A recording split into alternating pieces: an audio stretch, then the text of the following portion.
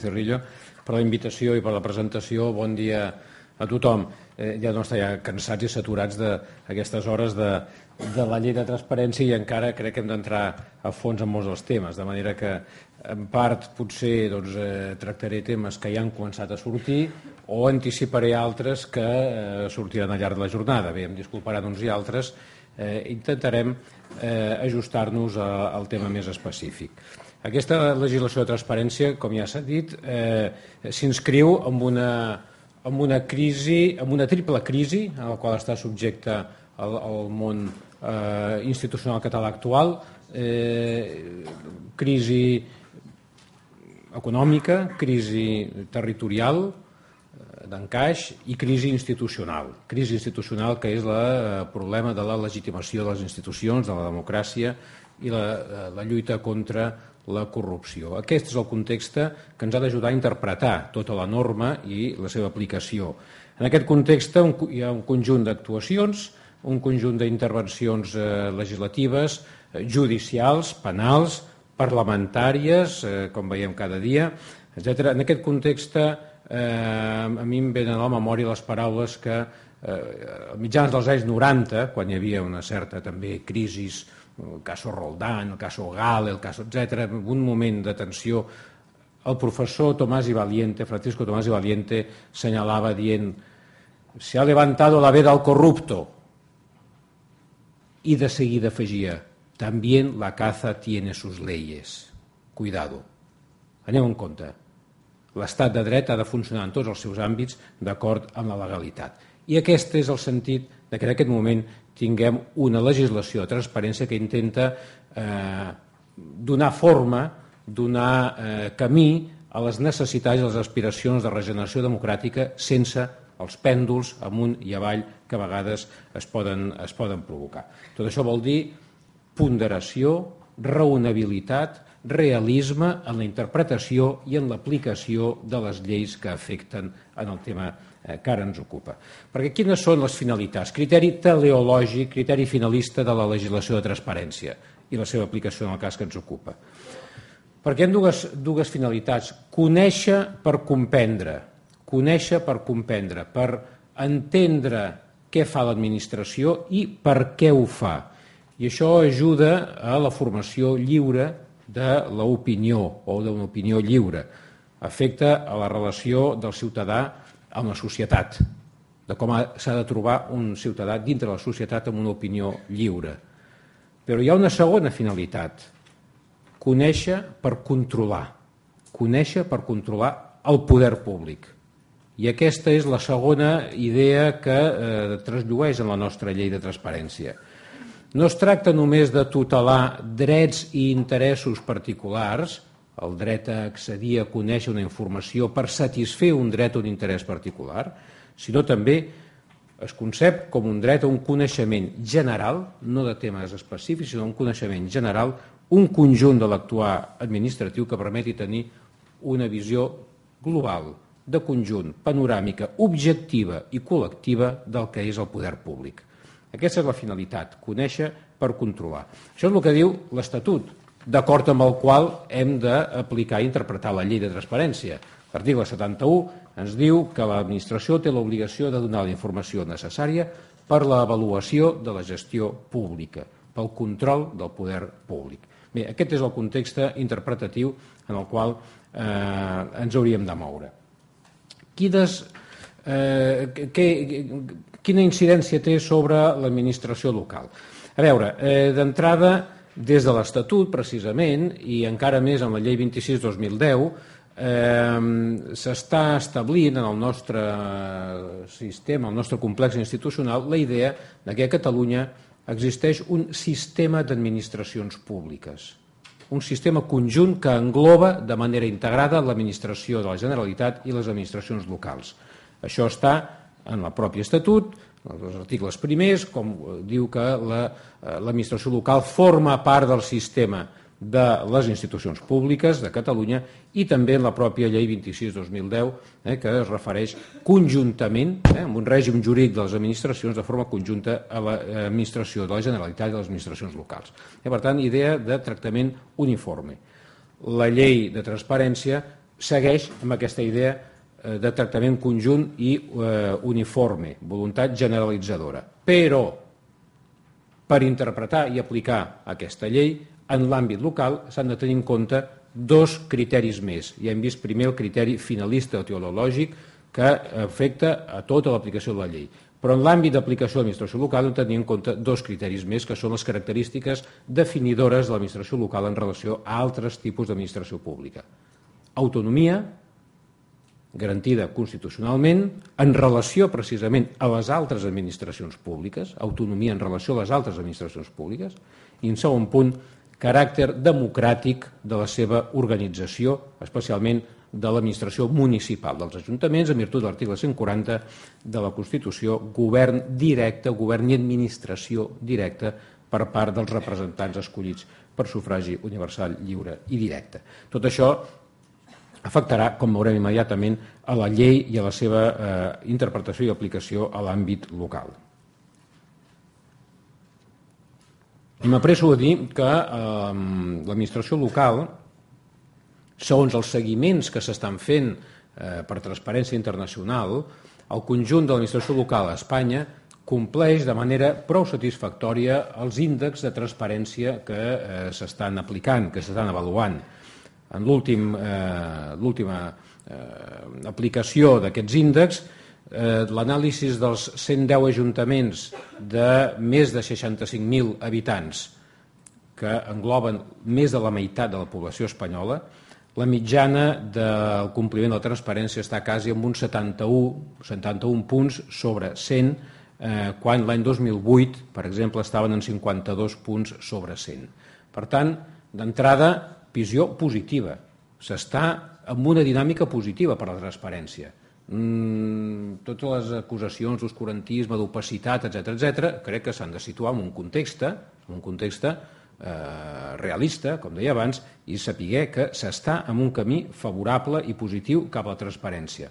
N'hi ha prou amb accedir a moltes de les portals i pàgines web de les nostres administracions locals, de les entitats municipalistes, etc.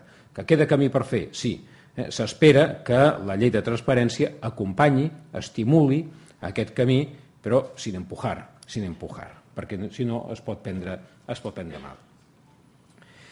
Eh, anant al contingut de la llei de transparència, vist aquest context interpretatiu. En primer lloc, àmbit d'aplicació, ja s'ha comentat, eh, afecta els ens locals, mm, article 3, i immediatament l'article 4, al parlar dels responsables de l'aplicació de la llei, els responsables d'aplicació de les obligacions que estableix la llei, es fa referència als alts càrrecs, als alts càrrecs de l'administració local.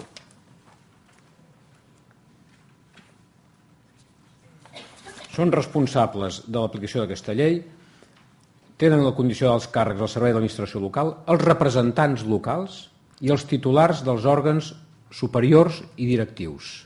Aquí fa referència a la legislació de règim local. Bé, aquí podríem començar una, una disquisició sobre quin és l'abast Eh, subjectiu d'aquestes persones obligades o responsables del compliment de les obligacions, etc. Bé, aquí eh, jo crec que d'una banda eh, serà difícil, en molts casos accept, eh, acabar d'acotar, però hem d'acudir a l'article 130 de la llei de bases de règim local, incorporat per la eh, llei de modernització l'any 2003 pels municipis de gran població, Aquí podem veure doncs, eh, òrgans superiors, alcalde, membres de la Junta de Govern, membres de la Junta de Govern, allí es feia referència eh, perquè d'aquell moment es pensava encara que podien haver-hi membres no electes en les juntes de govern, això ha estat ja solventat per la sentència del Tribunal Constitucional 103-2013, eh, ja no hi ha membres no electes a les juntes de govern, eh, per tant, eh, no hi ha dubte, els membres de la Junta de Govern electes, naturalment. Però també coordinadors generals, directors generals, personal eventual que desempenyi funcions directives, eh, dubtes, eh, personal funcionari que estigui en llocs de lliure designació, mm, mm, els funcionaris amb habilitació estatal, en tots casos, només quan hagin estat per lliure designació, eh, no ajuda a la, a la interpretació l'article 306 de la llei municipal de Catalunya, el text reforç de la llei municipal de Catalunya, perquè no, eh, no acaba d'aclarir eh, la posició del personal directiu eh, que ha de tenir consideració eventual, eh, efectes d'aplicació de normes d'incompatibilitat, etc. Per tant, jo entenc que d'entrada ja tindrem una primera qüestió a resoldre, amb criteris interpretatius, de quins són els òrgans eh, en l'àmbit municipal eh, responsables del compliment de les obligacions eh, que estableix la llei. Segon aspecte. En quant a la transparència en l'activitat pública, títol segon de la llei, ja s'ha comentat pel senyor Bernadí la irrellevància que tindrà el portal de la transparència. El portal de la transparència, aquesta eh, gran bossa d'informació que estableix estableix la llei, article 5, eh, com el mecanisme a través del qual doncs, s'haurà doncs, de canalitzar tota la informació pública que els eh, poders públics catalans estan eh, obligats a, a, a posar a disposició dels, dels ciutadans. Mm, I ha fet referència el senyor Bernadí amb aquesta expressió, el portal de la transparència està organitzat i gestionat per l'administració de la Generalitat i també integra la informació de l'administració local. Um, queda per descomptat que les entitats locals poden crear els seus propis portals de transparència. Uh, la dicció de la llei sembla que, en tot cas, en aquests portals s'hi ha de poder accedir a través del portal de transparència general. Eh, la dicció no aclareix si només s'hi podrà accedir a través d'aquest portal general o també un accés directe. Eh, eh, jo m'inclino a interpretar-ho d'aquesta segona, de la primera és a dir, de la forma en què es pot accedir indistintament, tant directament com a través del portal eh, general, eh, perquè bueno, certament la idea d'integració, d'interconnexió eh, fa eh, eficaç o encaixa amb la idea que dèiem abans de sistema d'administracions públiques de Catalunya, és cert, però també és cert que haurem de veure si el principi d'autonomia local, interpretatiu, principi interpretatiu de la norma, eh, significa algun límit a aquestes funcions d'integració i gestió d'aquesta informació local per part de l'administració de la Generalitat. Aquí pot haver-hi eh, un problema. Haurem de veure el contingut funcional. Permet donar instruccions sobre continguts, imposar obligacions en els ajuntaments, mesures tècniques, aplicatius informàtics a utilitzar obligatòriament pels ens locals, etc. Tinguem en compte que en el moment actual hi ha un grau de queixes molt elevat des del món local, en l'aplicació de la llei de racionabilitat de, i sostenibilitat del, de l'administració local, en la mesura en què el Ministeri d'Hisenda i Administracions Públiques ha establert una terminal en els 8.000 municipis espanyols, una terminal aplicativa a través de la qual els municipis es dediquen a omplir dades d'informació per al Ministeri d'Hisenda i eh, havent-se anul·lat qualsevol tipus de capacitat decisòria sobre, eh, sobre aquests aspectes. Bé, eh, veurem si tindrem ara uns nous aplicatius a eh, omplir per part de les administracions locals o no, o com s'organitza.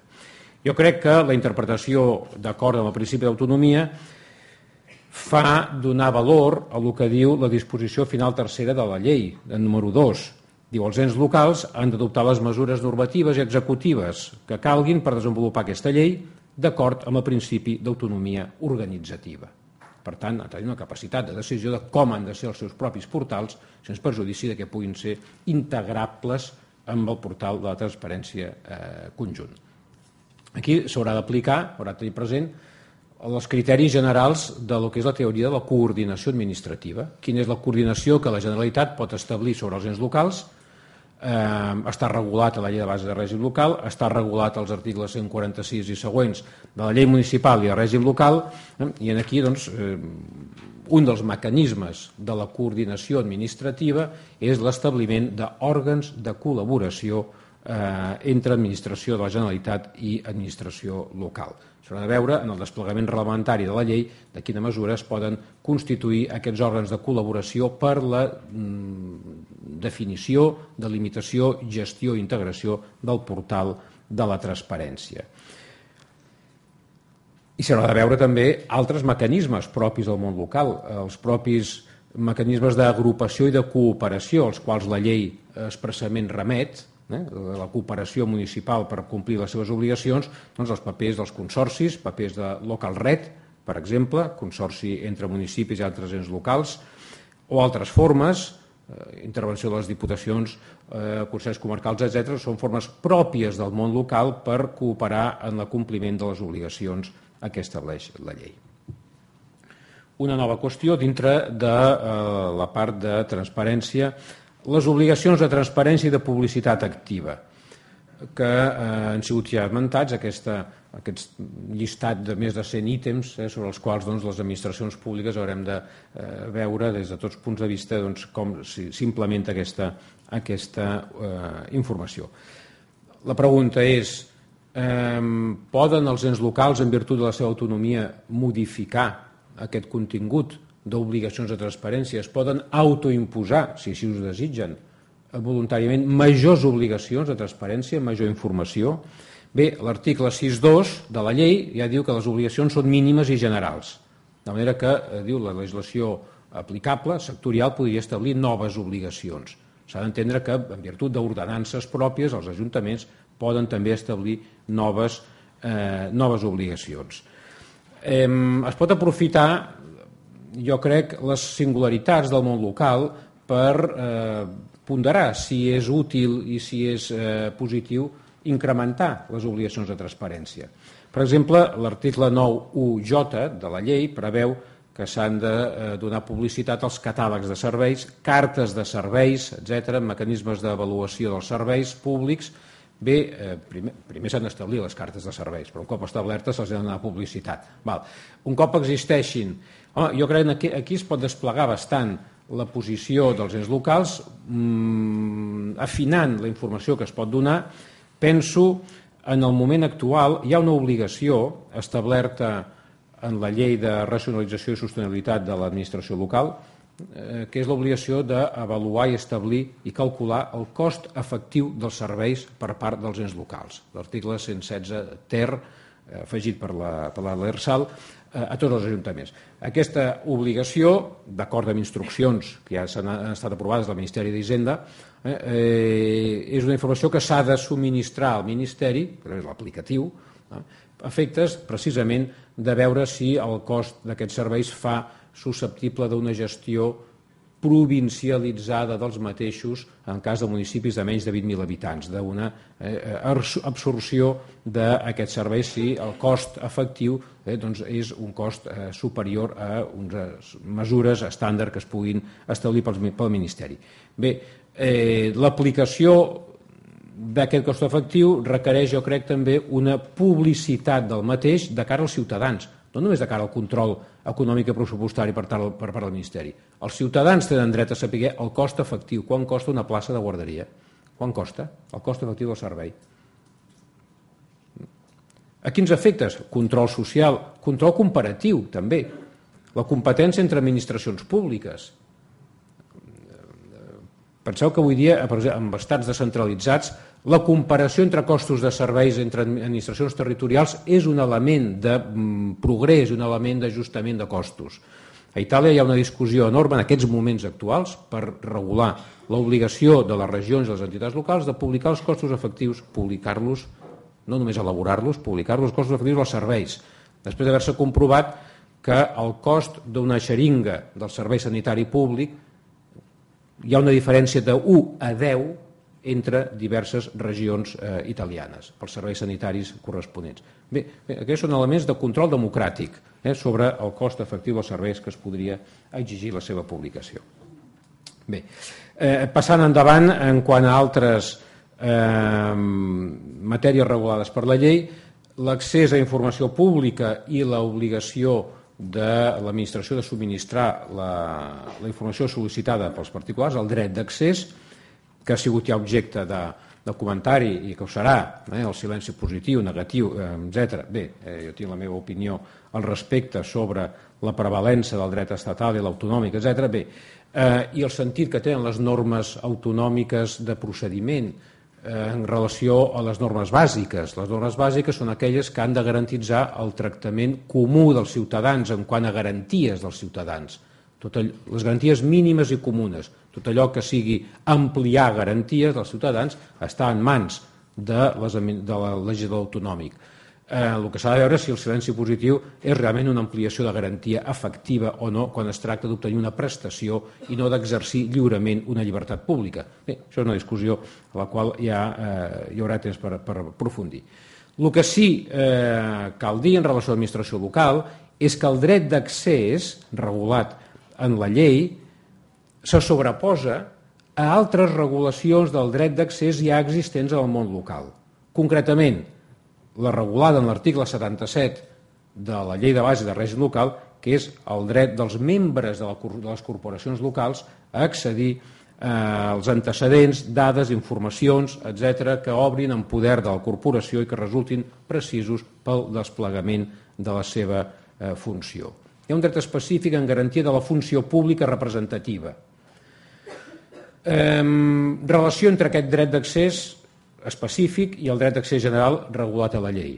Des d'un punt de vista de les matèries a les quals es té dret d'accés, el dret d'accés de la legislació local és més restringit, només aquells eh, antecedents precisos pel desplegament de la funció concreta del representant local.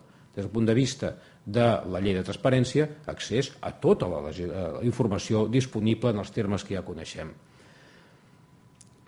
Però hi ha una segona diferència, per tant, en aquest sentit diria més, més ample, més favorable l'aplicació de la llei de transparència. Però en la regulació local, d'acord amb la llei i el ROF, el Reglament d'Organització i Funcionament, el dret d'accés dels concejals s'ha de satisfer en el termini de 5 dies, amb un silenci positiu de 5 dies.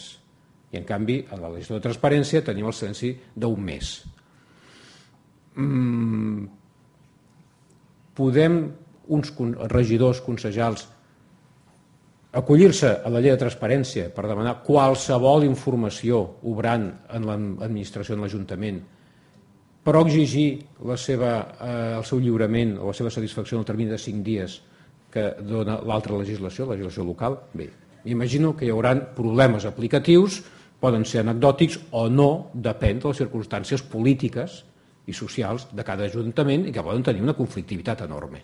Per tant, hi haurà aquí eh, uns certs problemes. Poden els municipis regular el dret d'accés en virtut de l'autonomia municipal? Poden complementar o disminuir els límits o les restriccions al dret d'accés i, per tant, ampliar eh, el dret d'accés als seus ciutadans des del punt de vista de la, de la seva autonomia és evident que tenen capacitat normativa per eh, establir ordenances, etc que puguin regular aquest dret. I per tant doncs, si un dels límits al dret d'accés és, eh, com deia abans, supòsits d'interès públic eh, superior, doncs poden determinar regular quins són aquests supòsits d'interès públic específic d'aquell Ajuntament que justificarien la limitació del dret d'accés, deixant lliure, per tant, el dret d'accés per tot el més? Poden regular la inadmissió de sol·licituds? Ara mateix explicava el senyor Bernadí, bé, mm, les opinions, notes, informes que es demanin queden exclosos eh, quan no tinguin rellevància eh, o interès públic no hi hauria dret d'accés a les notes, informes interns, etc. A mi em sembla una restricció eh, raonable des del punt de vista de la posició de qui elabora una nota informe que sap que ha de tenir una eh, utilització restringida, interna, etc, i qui sap que aquesta nota informe ha de ser eh, transparent, sé, però aleshores probablement digui una cosa diferent segons els compromisos de eh, responsabilitat pública que pugui tenir la persona que fa el nota informe. Eh? Eh, poden els ajuntaments dir quins són concretament les notes informes que eh, no tenen rellevància i que per tant poden ser objecte de dret d'accés? a la vista de la seva organització interna, a la vista dels seus procediments interns, a la vista de qui són perso les persones que intervenen en, les determinades, en determinats procediments, etc. Bé, es podria fer alguna intervenció en aquest sistema, Poden rebaixar els ajuntaments el termini de 30 dies pel silenci positiu? Nosaltres serem més favorables al dret dels nostres ciutadans. En 10 dies, dret a informació. Amb la mateixa lògica d'augment de garanties, tot el que no sigui restringir garanties, amb la lògica d'augment de garanties, eh, endavant. Bé, ponderar i les terceres parts i els tercers interessats, les dades dels quals poden ser objecte eh, de conflicte amb el dret d'accés eh, per part de qui ho sol·licita, eh, obligació de ponderació, etc. Per tant, mm, cautela, raonabilitat, eh, seny en la ponderació i aplicació de la llei. Mecanisme de garantia del dret d'accés i en general de la, de la informació pública, la Comissió de Garanties de l'article 39 i següents, eh, que ja s'ha fet referència, mm, ha sigut un tema molt debatut en la tramitació parlamentària, la composició d'aquesta comissió es preveu eh, doncs, eh, entre 3 i 5 membres designats per tres cinquenes parts del Parlament, eh, etc., juristes, especialistes en dret públic, etc., tècnics en arxius i gestió documental, etc. Eh, pregunta, però aquest organisme intervendrà en relació a l'administració local, resolent reclamacions contra resolucions eh, locals denegadores del dret d'accés o que concedeixen el dret d'accés i que la tercera part interessada creu que els hi perjudica, etc. Bé, hi hauria possibilitat en el reglament que desplegui aquesta norma de preveure un informe, una proposta de la, del món local en la designació d'un d'aquests tres a cinc membres? com succeeix amb altres òrgans que tenen incidència en les competències municipals, per exemple, el Consell de Garanties Estatutàries, un dels seus nous membres ho és a proposta o suggeriment de les entitats representatives del món local. No? Bé, són qüestions a ponderar per garantitzar més la integració adequada del món local amb aquest sistema d'administracions públiques de conjunt. No és una administració més, té una legitimació específica i, per tant, la seva eh, subjecció als òrgans de control, als òrgans de garantia que es preveuen, ha de ser també eh, suau, que encaixi que no, eh, que no sigui eh, conflictiva.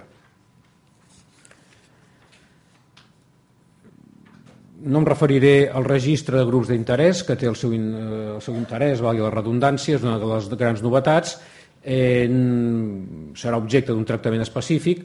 Eh, només diré que es preveu a l'article 45 la gestió centralitzada d'aquest registre que afecti tant l'administració de la Generalitat com administracions locals. Eh? Bé, mm, problemes semblants als que hem suscitat en quant al portal de transparència. Eh, és un registre únic, registre centralitzat. Um, deixo de banda dir que les experiències eh, comparades en matèria de grups d'interès i de registre de grups d'interès normalment fan referència als lobbies parlamentaris. Aquí ho, ho hem desviat a l'àmbit de l'administració pública, però en la mesura en què els ajuntaments són eh, administracions d'extracció directament democràtica podria tenir un cert sentit la translació d'aquests eh, registres. I en quant al, al bon govern, l'última, la part de la llei que es refereix al bon govern,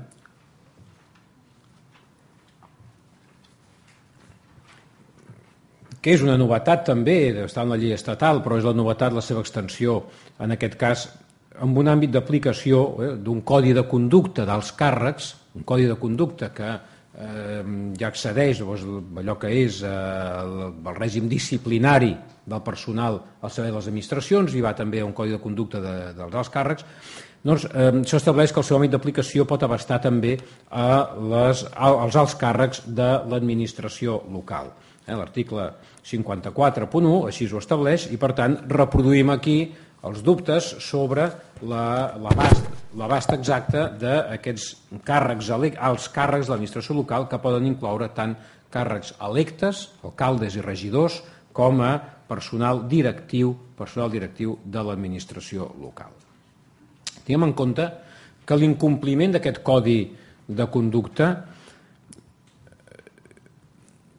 del codi, dels principis del codi de conducta significa una infracció molt greu, molt greu, eh, l'incompliment, article 77.3. Després veurem immediatament les conseqüències que pot tenir. Em referiré a, a tres punts, alguns dels principis d'actuació i després als codis de conducta en si mateix i després a les sancions que es poden imposar. Els principis d'actuació que estan inclosos en, en la llei, l'article 55, en definitiva, doncs van en la línia de garantir la imparcialitat, la independència, l'objectivitat, etc etc. Molt bé. Un d'aquests principis de l'article 55, en la lletra N, és el deure d'abstenir-se d'intervenir en els assumptes de llur competència quan concorri els supòsits d'abstenció que estableix la llei. Bé, eh, a veure, jo aquí voldria només cridar l'atenció sobre un problema que no està resolt, no està resolt, però que exigeix criteris d'interpretació un cop més ponderats. És l'aplicació de la legislació de règim jurídic i de procediment, la llei 3092, en matèria d'abstenció, els electes, els electes municipals. Um, clarament, l'administració local, des del punt de vista de la seva composició, eh, és una administració de naturalesa distinta substancialment de la resta d'administracions en el moment en què els seus administradors superiors, que fan el govern i administració dels ajuntaments, són eh, regidors escollits directament pels municipis. Eh, per tant, hi ha una funció de voluntat democràtica o hi ha un sosteniment de voluntat democràtica que fa que eh, la llei vulgui, la Constitució vulgui que els assumptes públics, els assumptes públics siguin precisament resolts pels escollits, pels electes públics, per la ciutadania. Vol que siguin resolts per aquelles persones. De manera que la regulació de l'abstenció, de les causes d'abstenció i del règim jurídic de les abstencions en l'àmbit municipal s'ha d'adequar i s'ha d'interpretar d'acord o de manera que no perjudiqui aquesta voluntat constitucional de que els assumptes públics siguin resolts precisament pels eh, electes pels electes locals. I la regulació de l'article 28 de la llei 3092 doncs no s'ajusta perfectament a la posició dels electes municipals no s'ajusta, perquè parla de que hauran de eh, ser resoltes les qüestions pel seu superior, pel seu superior, que haurà de eh, resoldre lo procedent en casos d'abstenció, etc. Eh, no hi ha superior del regidor electe o de, de, de l'alcalde, de manera que s'haurà de trobar una conjugació entre la legislació local, article 76 la llei de base règim local, que es remet a la llei 3092, la legislació de transparència i, precisament, aquesta posició singular d'evitar que per un ús dels de eh, deures d'abstenció eh, un ús excessiu d'aquests deures d'abstenció es perjudiqui el que és un dret fonamental en el doble sentit, dret fonamental de l'electe a exercir la seva funció pública i dret fonamental dels ciutadans a que participin en la resolució dels assumptes públics precisament per a aquelles persones que ells han escollit. És un problema de difícil solució. Per tant, requereix també aplicació raonable, ponderada i veient quina és la finalitat de les normes que s'apliquen en cada cas. Sobre el Codi de Conducta, eh, diré pues, el que alguns diuen, no? que és és una de les operacions més difícils més difícils del dret actual, que és passar la ètica al dret i convertir els principis ètics en normes jurídiques. Eh, eh, allò que pot ser objecte d'imposició coactiva eh, substitueix allò que de, ha de ser objecte de persuasió de persuasió com és l'ètica, els valors ètics i que poden portar a un reproche social en cas de que no es compleixi, però que és aquest element diguem-ne de control per la col·lectivitat en la vulneració dels principis ètics. Però si els incorporem, com incorpora la llei, a les normes jurídiques, eh, transmutem la naturalesa d'aquesta mateixa, eh, d'aquestes mateixes directrius, criteris o normes. Eh, és un problema general, no puc eh, detenir-me ara en detall amb això, però eh, aquí diu la llei que cada administració, i per tant cada administració local, haurà d'adoptar el seu codi ètic en desplegament de lo que diu la llei de transparència. Jo aquí me permeto, me permeto mmm, doncs una, una, una observació de cautela, una observació de cautela. Cuidado amb l'accés de normes amb la imposició d'obligació d'accés de normes a totes les administracions, d'aprovar codis, eh, protocols, eh, normes de bones pràctiques, etc. Anem amb cuidado. Eh, ja advertia Ciceró, plurimal aeges, plurimal aeges, república corrupta. L'accés de lleis pot portar precisament a crear aquesta maranya normativa que tot ho tapa, que tot ho tapa i que res deixa respirar. Per tant, advertència, només dic advertència, cuidado. Eh? La pròpia eh, llei estatal i la llei catalana de transparència eh, animen a un procés de simplificació normativa, de la qualitat normativa, de textos consolidats, és a dir, la idea de que efectivament s'ha de clarificar l'ordenament per fer-lo més previsible i que els ciutadans sàpiguen a què tenir-se. Però, cuidado, eh, perquè una de les obres més eh, actuals en matèria de simplificació normativa es titula significativament La tela de Penélope, eh, per advertir del risc de que la simplificació normativa que es pugui anar teixint de dia eh, es va desteixint de nit amb la publicació de més i més normes sobre la mateixa simplificació normativa. Per tant, cuidado, els, eh, les entitats locals tenen possibilitat d'adherir-se a codis de conducta estàndards que puguin fer entitats eh, associatives. Poden adherir-se a ordenances tipus que poden fer eh, administracions superiors o de cooperació, etc. Poden aprovar plans d'actuació que no impliquin increment de normativa a complir o incomplir. De manera que eh, prudència, prudència en aquesta matèria. I per últim, faig referència a una última qüestió, que és la, eh, les sancions que es puguin aplicar precisament per incompliment dels codis eh, de conducta establerta a la llei o en general de la llei. És discutible l'aplicació, em sento en un punt, l'aplicació d'un règim sancionador a electes locals, un règim sancionador a electes locals. Eh, sancions administratives, sancions administratives. Deixo de banda, naturalment, la legislació penal eh, tinguem en compte que els electes locals són, des d'un punt de vista de naturalesa, equivalents als parlamentaris. I per disposició de la llei el Parlament queda al marge de la mateixa eh? i s'encomana al Parlament que estableixi uns criteris, normes, actuacions propis atès a la singularitat del Parlament. Això s'hauria de tenir en compte també en relació al règim sancionador eh, sobre els electes, els electes locals. Um,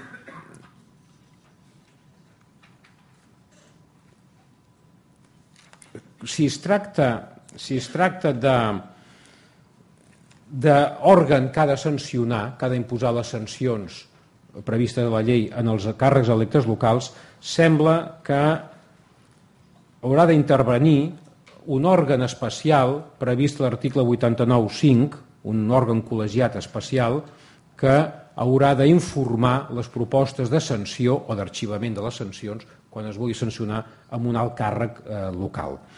Um, aquest òrgan, després la sanció la posaria al ple municipal, al ple de l'Ajuntament. Eh, la composició d'aquest òrgan és molt discutible, no hi entraré ara amb els detalls, però també en aquí seria potser oportú preveure en el desplegament reglamentari la presència d'algun membre designat o informat o proposta per les entitats locals, atès que després incidirà en imposar sancions en els alcaldes i els regidors. Eh? I després, el tipus de sancions, perquè les sancions per incompliment de la llei poden arribar a la destitució, la suspensió del càrrec o la inhabilitació. Això és molt fort, és molt greu, si s'arribés a aplicar mai a electes locals. Per això la pròpia llei ja preveu una norma específica, una norma específica eh, que diu que no afectarà, no s'aplicarà aquesta norma o aquesta, aquest tipus de sancions a les, eh, en els alts càrrecs electes, eh, ni la destitució, ni la suspensió, ni la inhabilitació, perquè si no, certament tindríem una espècie de mocions de censura encobertes en què el ple municipal podria sancionar per aquesta via eh, sense els procediments establerts a la llei orgànica de règim electoral general amb reserva de llei orgànica. Acabo, hi ha moltes més qüestions que no venen al cas, però acabo amb una última reflexió. Estem filant molt prim en la transparència i en la publicitat de l'administració pública i de l'administració local. Però a veure, tanto, cada dia tenim menys administració pública. Tots els processos de liberalització, simplificació normativa, desregulació, etc., estan donant al propi mercat, a la societat, a l'imperi del món de l'empresa, les decisions que fins fa poc eren decisions públiques, funcions administratives. I per tant, aquestes, aquesta finura, tota aquesta eh, articulació de mecanismes de transparència i publicitat que estem exigint a l'administració, ens hem de plantejar que cada cop més els haurem d'exigir també als particulars. Ja sigui particulars que exerceixen funcions públiques, com deia el professor de Sols al començament, entitats d'acreditació, entitats, etc., particulars que exerceixen serveis públics, etc., cada vegada més, però no només això, sinó els particulars que exerceixen la seva llibertat d'actuació sense control públic, sense control públic, que fan la comunicació o la declaració responsable i engeguen una activitat econòmica i els veïns tenen dret a poder conèixer l'actuació d'aquest particular, no la de l'administració. No és suficient dir que l'administració haurà de publicitar les declaracions responsables, les comunicacions prèvies que, que, ha, que ha rebut. S'ha de veure, perquè la declaració responsable allí no es diu res, allí es diu que jura pels seus morts que compleix uns requisits el que el que la emet, emet la declaració responsable. Els ciutadans podran veure si realment compleix els requisits. I això no ho té l'administració, que s'ho creu. Per tant, obligacions de publicitat i transparència dels particulars. Hi ha algunes ordenances municipals que ja han establert l'obligació de que un particular, quan actua eh, subjecte al règim de declaració responsable de comunicació, hagi de seguir un procediment previ, un procediment administratiu privat, previ, ell pel seu compte, per fer una informació pública i donar audiència als veïns i als ciutadans. I s'ha d'assegurar que els seus interessos no són perjudicats. I quan faci la comunicació en l'Ajuntament li haurà d'acreditar que ha fet informació pública dels seus veïns, etc. Bé, doncs per aquesta línia, publicitat i transparència de l'administració pública, però també dels privats que actuen al marge perquè l'administració pública ja no controla. Acabo citant, perquè el professor Bassols ho feia al començament de la seva, de la seva intervenció, doncs, eh, acabaré aquesta citant el gran filòsof italià Norberto Bobbio, perquè ell de, destacava la necessitat de practicar el valor de la dicotomia en el desenvolupament del coneixement i les ciències socials. Eh, la, la dicotomia, les relacions dialèctiques entre grans valors, grans conceptes. Estat, societat. Llei, contracte. Igualtat, llibertat. Legalitat, oportunitat. Aquests són els grans conceptes que hem de ponderar en cada moment. Doncs bé, en aquests moments tenim un altre gran eh, dilema dialèctica públic-privat, publicitat-privacitat. Aquest és el repte en què ens trobem en aquest moment actual. Moltes gràcies.